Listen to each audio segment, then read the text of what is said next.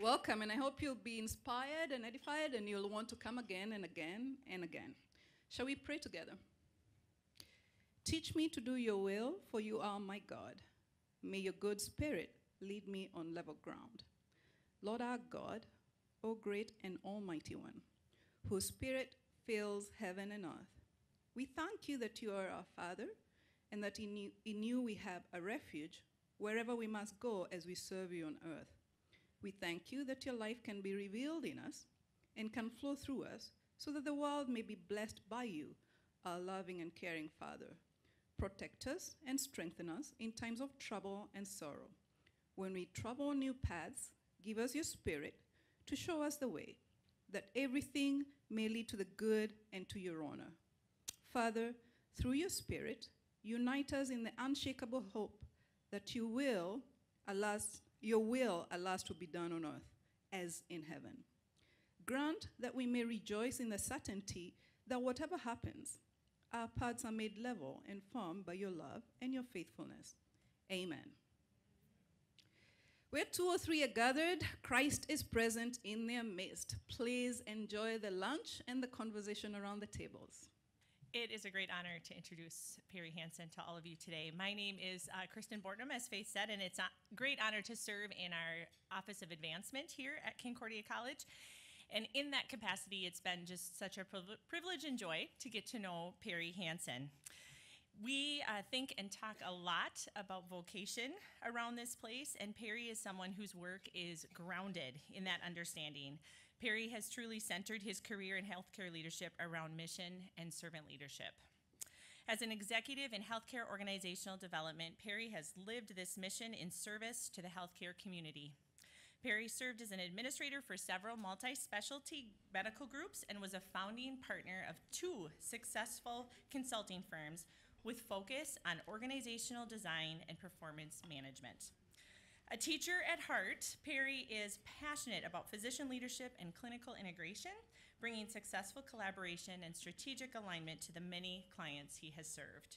Perry holds a BA in Healthcare Administration from Concordia College and a Master's of Health Administration from the University of Minnesota with an administrative fellowship at the Mayo Clinic Foundation in Rochester. Perry supports his community through church, professional membership in the Minnesota Hospital Association, as a board member for the Upper Midwest American Red Cross, and as a frequent lecturer for the University of Minnesota uh, MHA program. We are especially grateful for his service as a member of the Healthcare Leadership Advisory Council here at Concordia College for the Offutt School of Business. Perry and his wife Beth, also a Concordia graduate, are proud parents of Peter and Paul, and uh, grandparents to Nicholas, May, and Nels is the youngest, correct? Gus. Gus. And Gus, yes. So we are really, really delighted to have Perry here uh, with us today for the Lorentzsen Center Luncheon on Faith and Work. I can think of no one better prepared to speak on this topic to all of you today. So would you join me in welcoming Perry Hanson?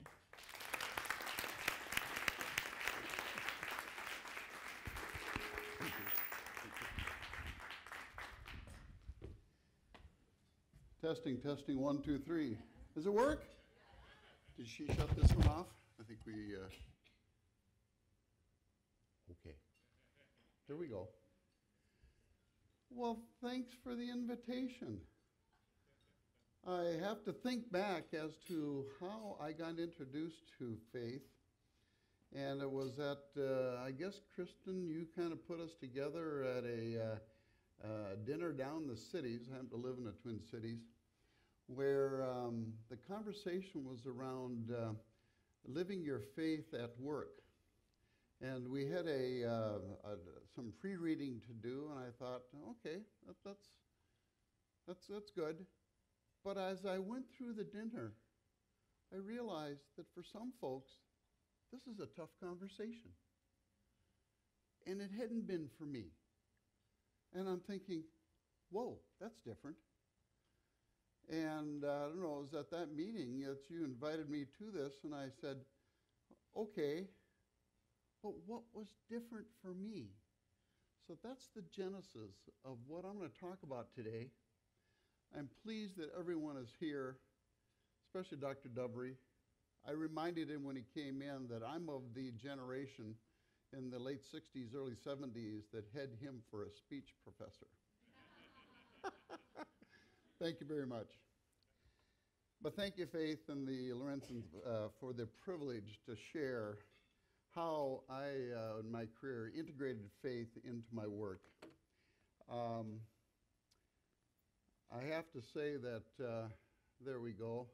I'm only going to use these slides as props to tell stories.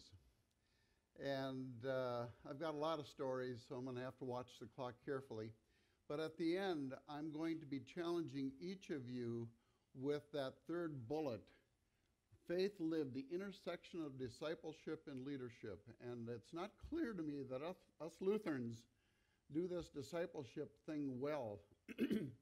but as I reflected on our dinner, it may be the key issue by which I was able to live my faith given the background that I started with and what I experienced here at Concordia.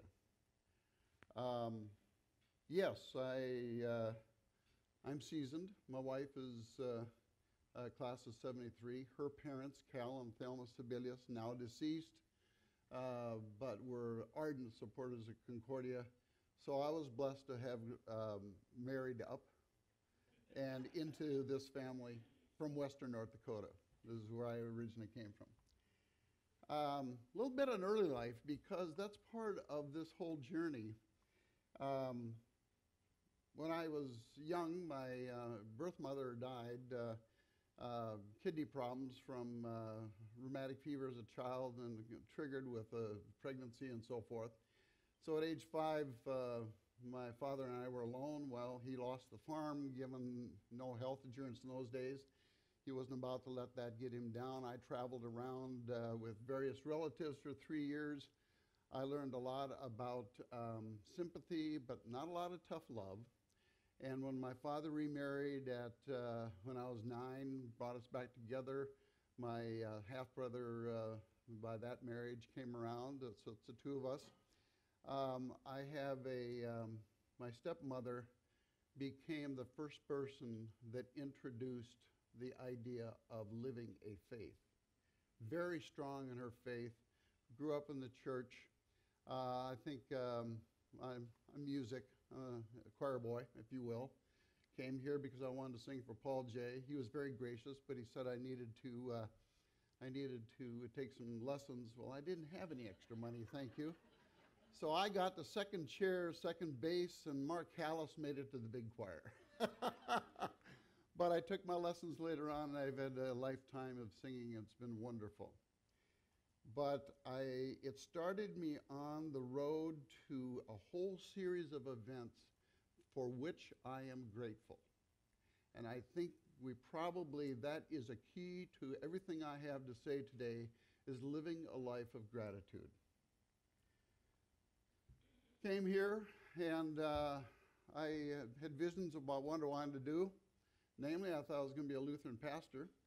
I took a couple courses from Ted Highmark and Roger Spilde and so forth. Ted Highmark, after about, um, uh, oh, I suppose three months or so, he pulled me into his office and said, uh, What do you plan to do with your life? Well, not real sure. Thinking about a Lutheran pastor, and he said, Well, have you considered health care? No. but uh, as a per- persuasive, persuasive uh, fellow he was, he said, Why don't you go over and talk to some folks about what it means and uh, how uh, your particular skills? And I said, You don't know me. Oh, I got a pretty good idea. So he had me go talk to C. Warner Litton at Fargo Clinic and Dee Dee Whiteman over at, in that era and, and a few other folks and uh, came back and said, Well, that's pretty interesting. And he said, Yes. Um, I think you ought to consider working with physicians, helping them with this business stuff. Really? Why? Well, you folks don't know me well, but uh, I, I can learn intellectually, but I really need to experience. And then I learn it. So he had me go talk to a few more folks and so forth and so on.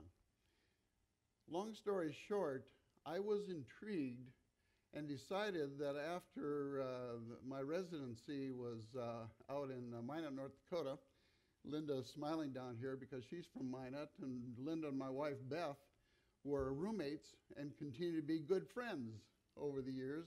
Linda and Jim are godparents of our oldest son. But we were out there, and Linda's father, Marv Odland, was the chaplain at Trinity Medical Center. And uh, he heard some of my stories, and uh, Linda just reminded me, and I do remember it, that uh, he had me do a lay gig on a Sunday morning just to get a sense of what being a pastor is all about, at least from a speech perspective. perspective. And uh, which I'm grateful. I decided, no, I guess that wasn't the right calling. it's all this trial and error we go through, you know. So um, I came back to Highmark then for the senior year, and I said, okay, what's this physician thing you had in mind? And he said, why don't you go look for a clinic manager job? Well, okay. So I did. I traveled around a little bit. I found one back in my hometown, Willis, North Dakota.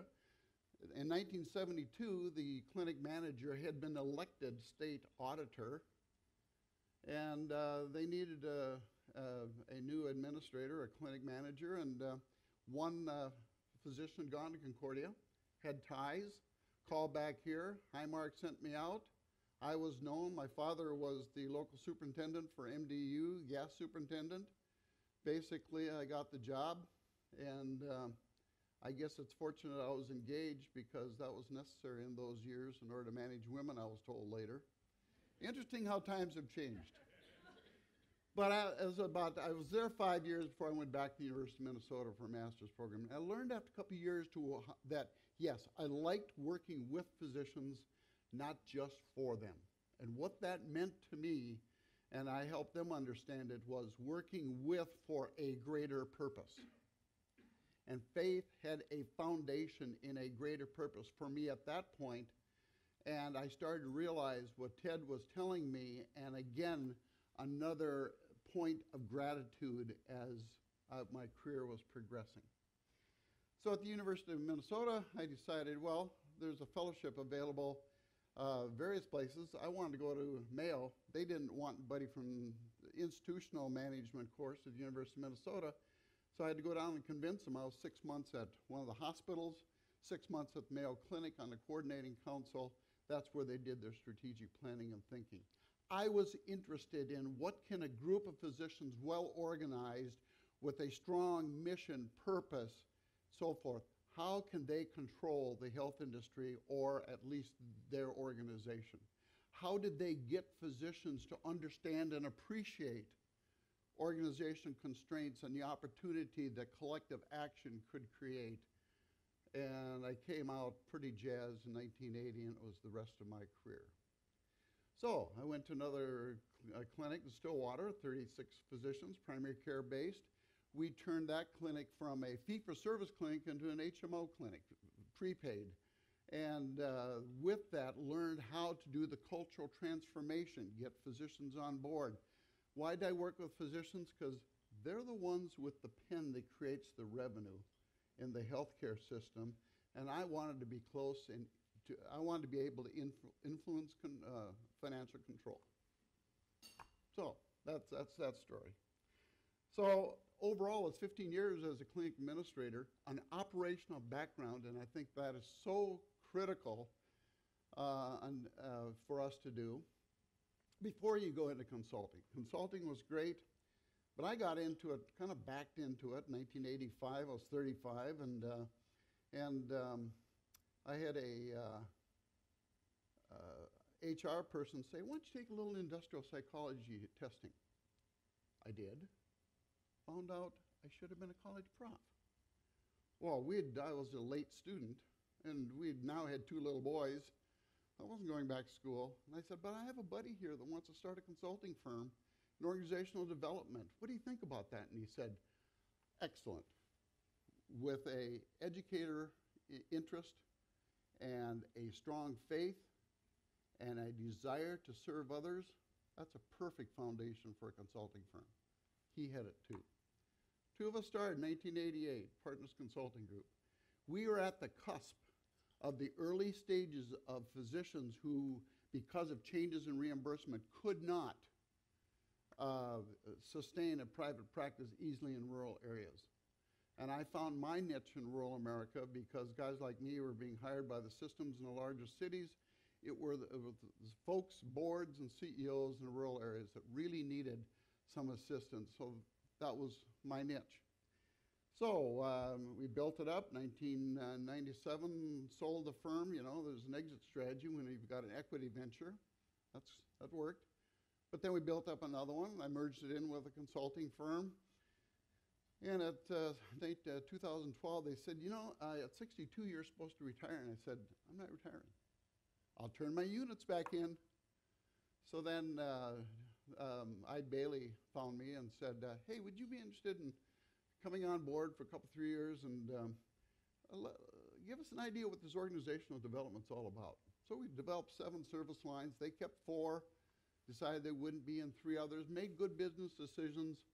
And about a year and a half ago, I uh, fully retired with an independent contractor, Eide Bailly, that is now completed. So I think I'm retired, but I don't know. so today I'm going to be talking a little bit about uh, what my experience uh, in this grouping of physicians, and secondly, how I assisted CEOs and uh, other and physicians in rural areas, and how I assisted CEOs to manage physicians that were in private practice, privileged to practice at the hospital, who became employees of the hospital for a group of folks that have no interest in being employees. Do I have any physicians in the room? Great, I may call on you on a. but uh, so uh, uh, then I'm going to talk a little bit about some favorite leadership principles and practices, and then introduce the intersection of discipleship because I'm convinced that was the thing that allowed me to introduce, as I go along, how I um, asked and supported the faith journey in what I did.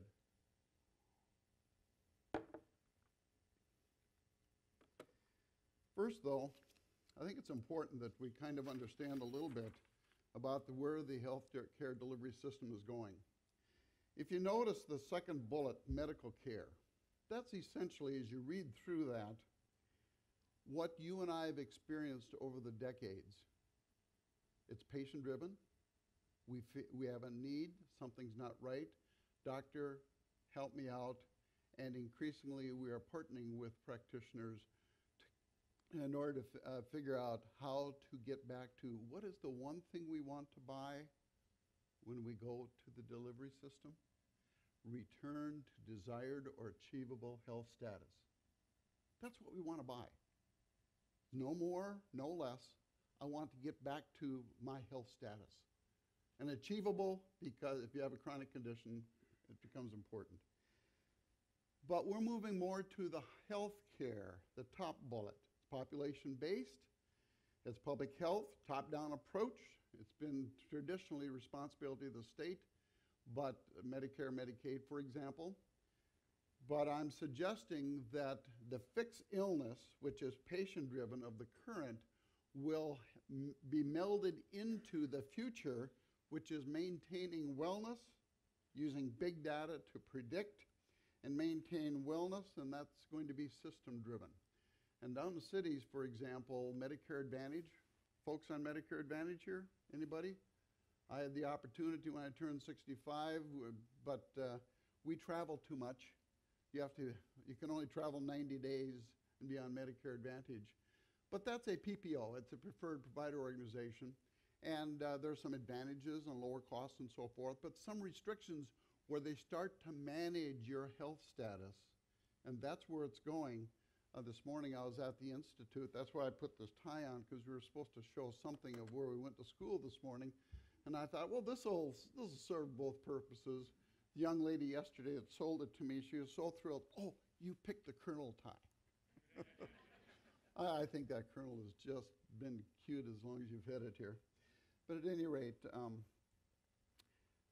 um, there was a fellow, Josh Luke, who talked about the future of health delivery.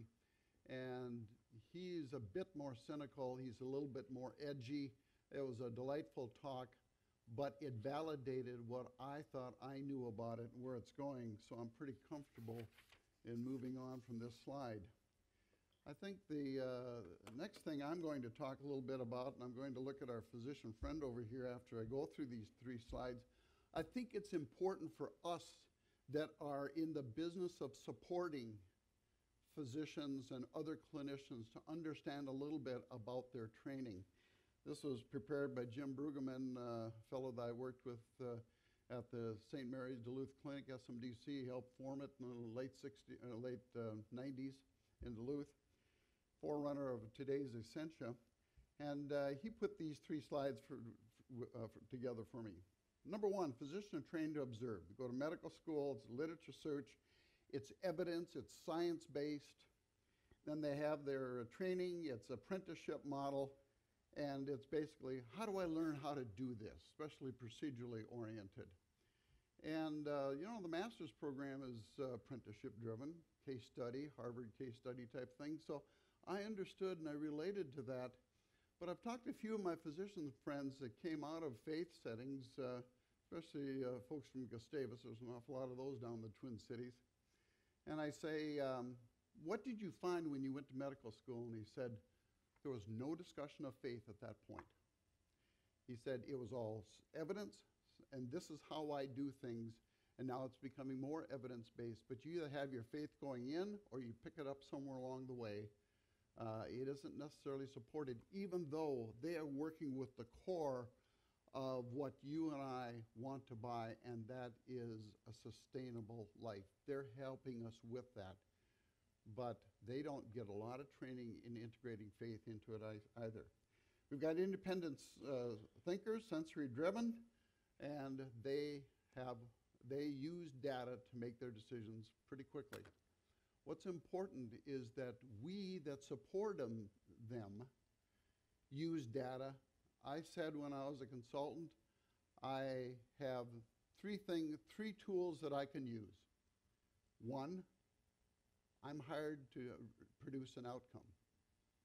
I remember a couple times I would have argued, doctors argue with me. I said, Look, doctor, I've already been fired.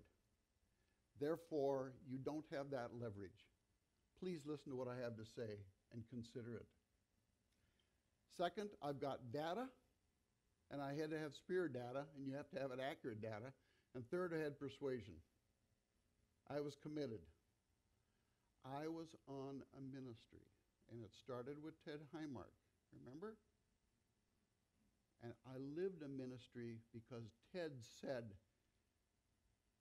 You can do both you can, be, you can serve healthcare and be a lay minister in your local church. Oh, okay. It's been a ride. It's been a hoot. Physicians, next one, are trained to assume independent personal responsibility, captain of the ship. First, do no harm, then service patient desired state of health to the extent it's clinically possible. I learned the best thing that a consultant can do is first do no harm.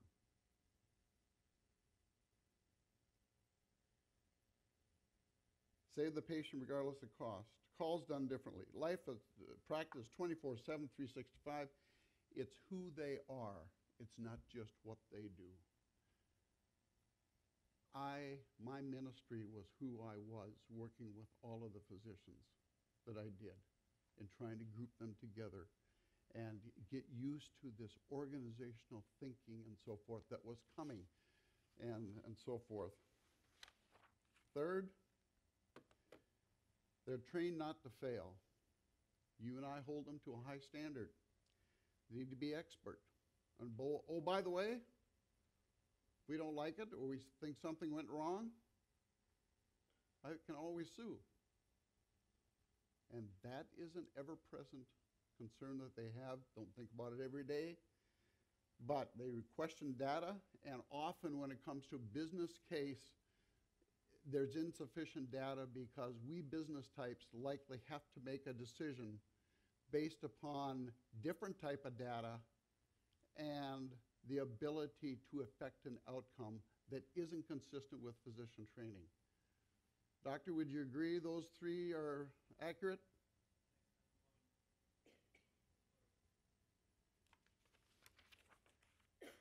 Okay. Thank you. Didn't mean to put you on the spot, but uh, it's, it's important for us to understand where they came from. Now, necessarily, this is, became uh, a slide that talks a little bit about how physicians are trained on the left, how organizational managers are trained down the center, and some of the techniques to be used to narrow the differences. And uh, where we're trained to be designers, they're doers. Yes, we have a technical base too, but by the time you're in an organizational leadership position, you have to accomplish things through others. It isn't just yourself. One on one on many problem solving for managers, one on one problem solving in the exam room with us. What do we do? Confront unrealistic expectations and, and assumptions. What has changed? Reimbursement. Like any economic entity, you follow the money. And starting in the late 80s, 90s, reimbursement changed because those of us that are baby boomers started to demand a different value proposition. And basically, we said we want better access, lower cost, and we want more comprehensive care. Well, that made it into the Affordable Care Act. But we started asking for that and therefore making some changes and change demands of the system as we went along.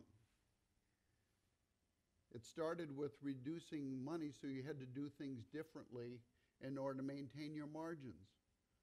Physicians don't have business training, even to this day. Very few of the, uh, if any, of the medical schools have an active business component. So there is continues to be a need for folks like us to serve, help them serve the greater good of patient benefit. Long term response, immediate response, delegators, deciders.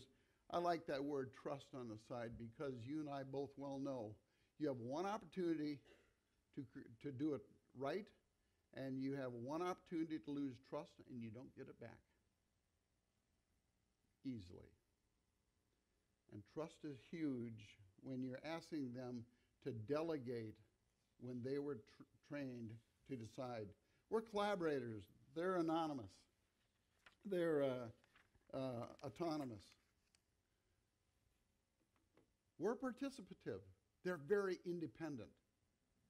Yet, when you group physicians together and help them figure out a greater good, they can learn to be participative but they've got to trust the motives of their colleague across the table.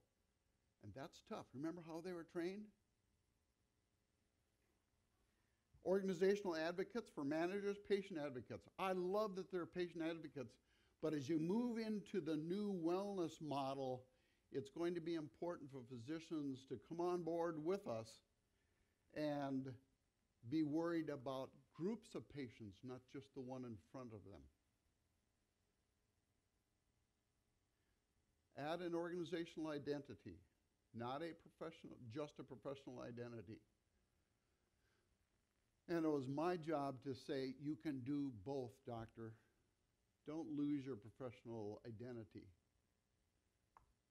So, in essence, what I tried to do here is help them create a service mentality to a good greater than just themselves and the patient in front of them. And it was very helpful that in back of my head, I had something, a greater good in mind because I'd been introduced to it by a stepmother that really did a fine job, for which I'm grateful, and a college prof that I don't know how he did it. And in spite of my arguing with him, said, This is your life's ministry. I don't get it. But my goodness, they're all right. In 2011, there was a little book that came out. It's uh, 2000, 2000 or 212 Leadership 10 Rules for Highly Effective Leadership. This is just a prop because I want to tell more stories. But the idea of this book, and it's a real small book in, uh, in the, the, the back, uh, it says at 211 degrees, water is very warm, but at 212, it starts to boil. And when you have boiling water, it creates steam, and steam can move locomotives. You can do so much more with that extra degree. And that's the passion of having some extra degree in your life. And it was the first book that came along and said, servant leadership was the number one. I didn't realize Ted had taught me that. And I don't doubt others had taught me that when I was here. Didn't dawn on me. I don't know that anyone ever said anything about servant leadership. And about 20 years ago, I went back to an MHA uh, program, uh, my uh, program in Minneapolis, University of Minnesota, and they said, What are you doing? How are you doing it? And I said, You know what? I've got a wonderful market around the concept of servant leadership to CEOs with MHAs that don't understand what I'm talking about. Well, we don't teach that. I said, I know you don't. That's my market. I got it here. I'm grateful. You think, serve, not lead. It's engagement. You ask others, what do you think? You deliver on what they need. They'll likely tell you what they want, but you have an outcome conversation, and you better have enough experience and skills in order to do process to get to their outcome. Because in the world that I lived for 30 years, no one had to hire me. And for the most part, it was boards and CEOs that hired me because they needed an outcome. The market was changing, physician relationships were changing, reimbursement was going down. They had a community obligation.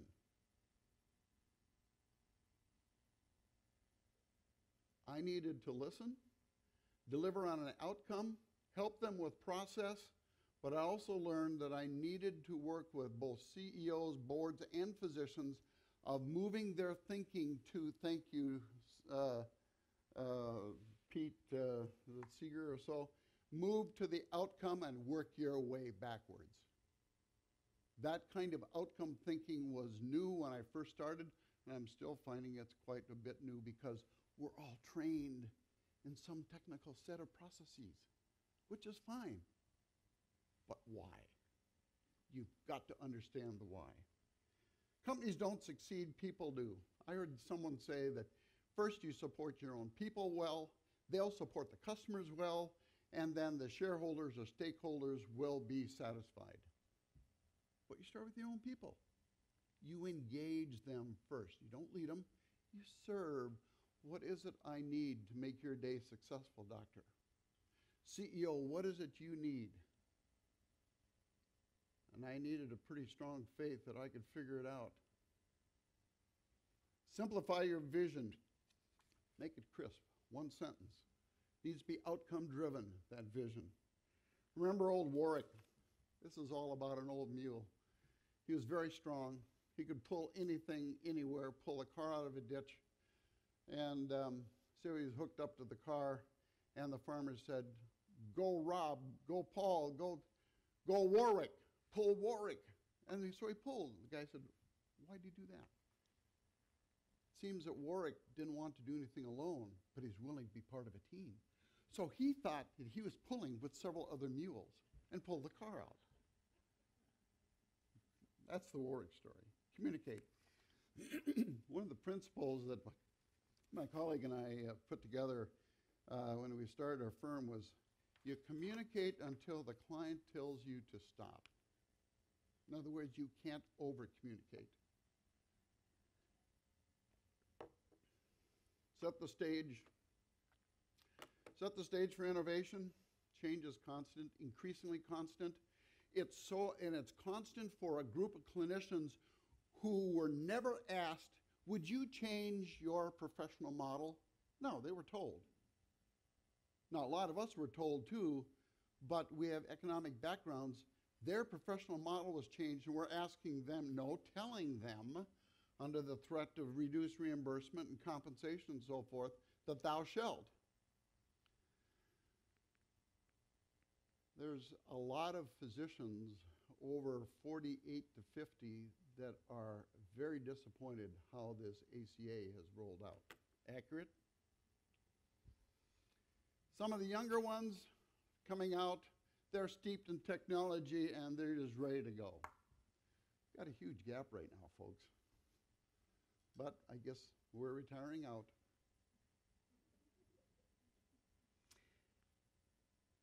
And here is where I realized that since we had created a consulting firm, I became a consultant in order to remain a student. Because I was a lifelong learner. I had great curiosity. It was around the humanics, hu- human, uh, humanistic side. It was people driven uh, and so forth. And I was okay with committing to excellence. A few years ago, I heard the Lombardi quote that forever stayed with me. If you pursue perfection, you're likely to catch excellence.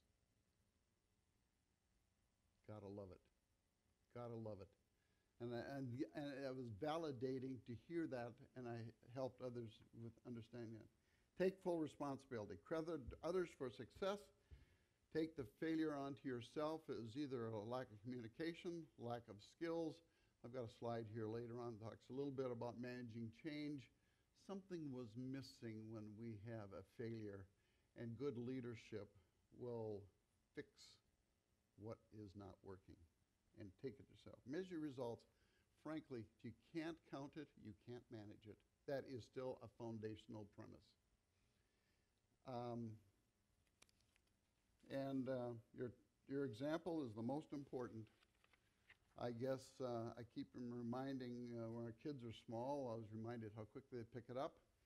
As I'm around my little two year old granddaughter and uh, so forth, I'm understanding that about 14 months they start picking up words and uh, so forth. And um, you got to be a little bit careful, even at that young age. We have to set an example. All right, here's where I'm going to start making that transition. This is a one page strategic plan. I did a lot of strategic planning, group practice development, really. Uh, and it, what was easy for me was working with uh, faith based Catholic health systems because they probably had thought through the extent to which faith was part of their purpose. And it was the re- requirement that the, uh, the board directors and others would have an understanding of faith so I could make some assumptions and plug it in and so forth. Um, but I also uh, probably asked behavioral driven questions. Give me an example when this happened so that they couldn't give me the textbook answer, but rather an experiential. When you applied this, what outcome did you achieve? So, vision, clear uh, picture of your destination. Mission, the driving purpose of your business. Values, the guide you use for decision making and how you treat each other. Excellent. Here's where I introduce faith because that's a value proposition. Do you believe in something greater than yourself or the organization that you're putting together collectively? Is there a purpose beyond your own interests? And I would have a story or two from past experience. Remember, I was a consultant, remain a student. I got hired because I was a student, could tell how others had, had done it. It worked out pretty well. But I was able to introduce how others have brought, even in a secular world, a faith based purpose greater than themselves. And I didn't have all the answers. When I found someone was struggling with their faith, I made a referral. Remember, management is the business of achieving through others. I made sure I had a number of people behind me, even back here, that I could refer people to.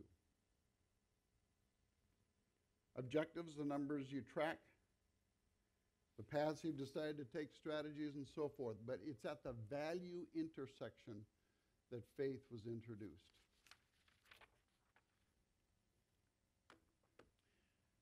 Here is the uh, slide that I've made a lot of use of, and as I realized when I was putting it together, I kind of lost the reference. This isn't mine. I don't know. I picked it up from somebody else 20 years ago, and I apologize, but I think it is very descriptive of the change because we are in constant change, and the clinicians in the delivery system are being forced to change even more so. Vision, skills, incentives, resources, and action plan will all produce change. But if there's confusion, you're probably missing the vision. That's the why. There's a spiritual question. Is there a greater purpose in what you're putting together? That you can ask, I did. Again, you have to be uh, very careful in the secular world, but you can ask questions, and I learned to be a pretty good uh, person who could manage others by asking questions and letting them come to the conclusion I wanted them to come to. It may take six months, but if you're anxious, maybe there's some skills you're missing, and there are some skills on introducing faith in the workplace. How do I do this? What do I do? And I don't know that I had studied anything, but I was always interested in when I heard someone interested in talking about their faith, where are you now? And what incremental benefit can I provide with my short time with you? Or became over the years too, actually. So, how to accomplish became something that I helped to uh, uh, fix anxiety. Resistance, that box in the middle, mutual benefit. Yesterday, one of my colleagues, at, uh, former colleagues at Eide Bailly, talked a little bit, and he was asked how to engage the physicians. And I went up to him afterwards and I said, um, Tell you what, answer two questions for them, and they're on your team. Number one, what's in it for them? But isn't that true for all of us? What's in it for me? You answer that. And for physicians in particular, how will it benefit my patients? Because their advocacy is patient benefit. There's no doubt in my mind. So, mutual benefit for self and patients, you fix that and you get rid of resistance. Frustration. Here's where I put in the faith value proposition it's a resource. More than that, but if you're introducing it, it is a way to think through and then how do you express your faith. And uh, the action plan, got to make sure that the issue of advocacy is pretty well known. For whom do you advocate? Has to tie back to the why up in the corner in order to have a complete change. It's a powerful little tool.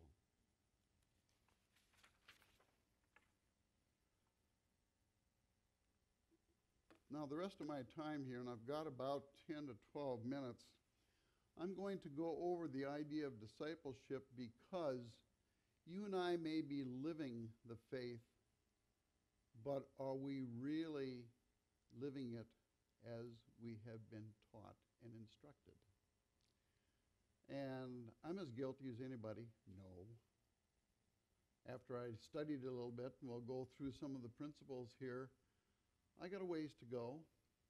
So thank you, Faith, for the opportunity to study this because it sent me on a new career journey that uh, who knows where this stuff ends. Who can be a disciple? Why is discipleship important? What is it? And what are some of the processes involved?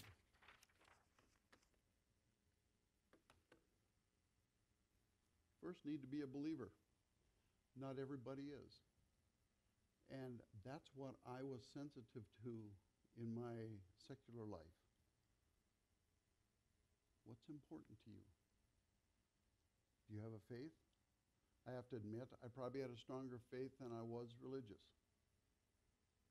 Although I do go to church a lot because I sing in the choir and love it. First step to discipleship is being saved. Do you believe it? How would anyone know? Every believer is supposed to be a disciple. No such thing as a super Christian. You note the Matthew 28, that's the commissioning of the disciples. Go therefore and make disciples of all nations, baptizing them in the name of the Father and of the Son and the Holy Spirit. Verse 20, and teaching them to obey everything I have commanded you. And remember, I am with you always to the end of the age. Um, two or three are together in Christ's name. I am there with you. I walked in today, as I often did over the last 45 years, and said, Okay, I signed up for something here. I need to make a difference, Lord. Help me. You'll, you'll figure out if I did any good or not. But I have Christ with me on a daily basis. We talk quite often. Why is discipleship important, especially in a secular world? Why do Christians. Are we really Christ disciples? Or do we just have some textbook learning then and we're not necessarily acting it out? Have we been taught Christ teachings? Many of us have. But one day on Sunday morning, one hour on Sunday morning probably isn't enough. We're meant to be saved from sin and saved for service to God. And I guess that's part of what I learned here. I didn't realize it till probably 20 years later. Don't know if it was osmosis.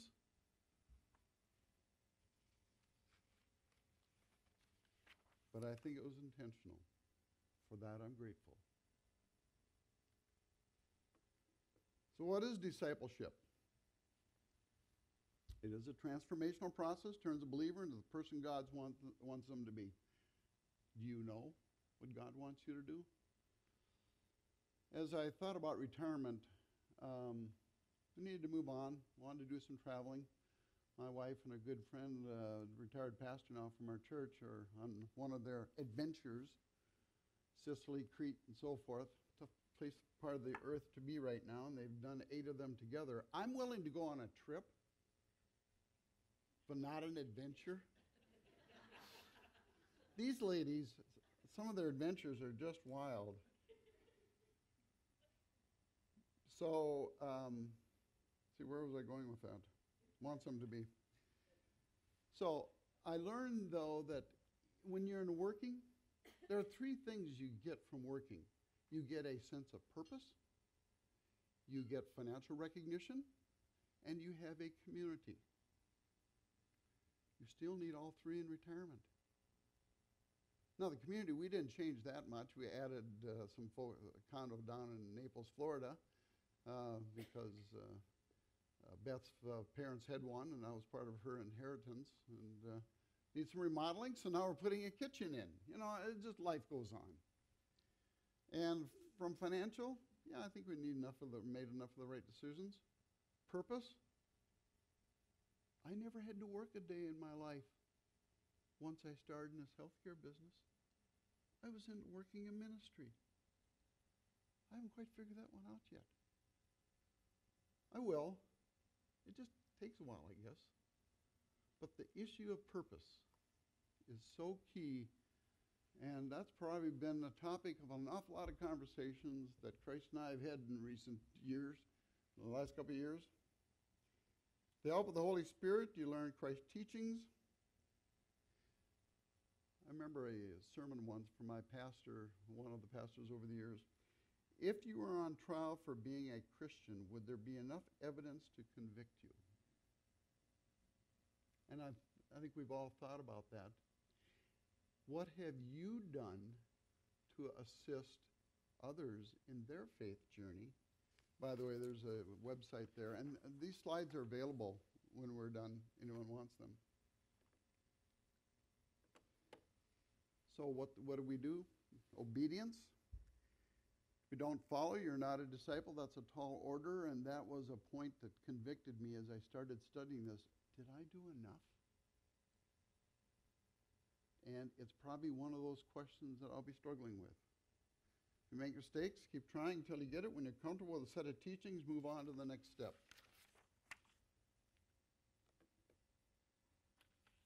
And the conclusion that this particular website and discussion had is that discipleship is the calling of every believer. You start by learning Christ's teachings, you're transformed by them, you follow them,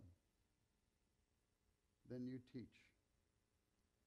God is calling us to transform the world one person at a time.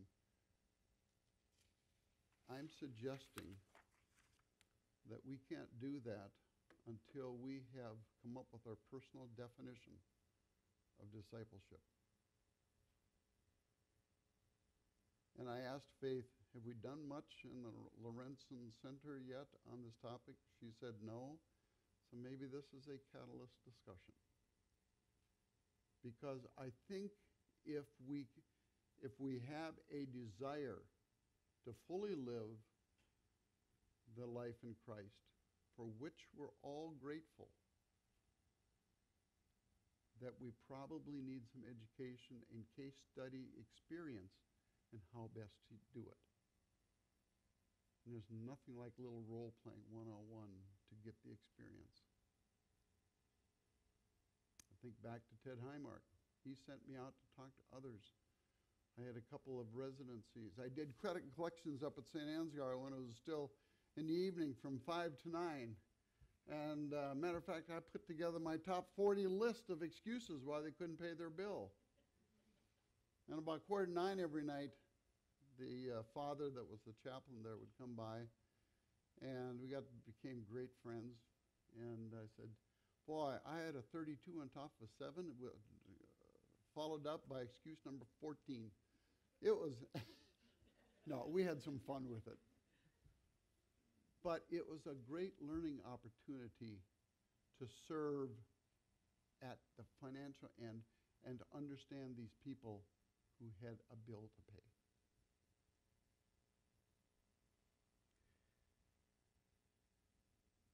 What does it take for you to share your faith? Knowledge? Skills? Courage? I'm a great fan of Winston Churchill. Fear is a, real, is a reaction. Courage is a decision.